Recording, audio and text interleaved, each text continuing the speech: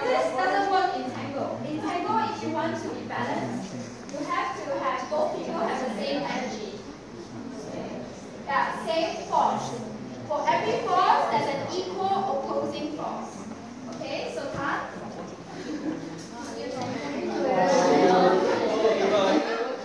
Okay? And and now I want you to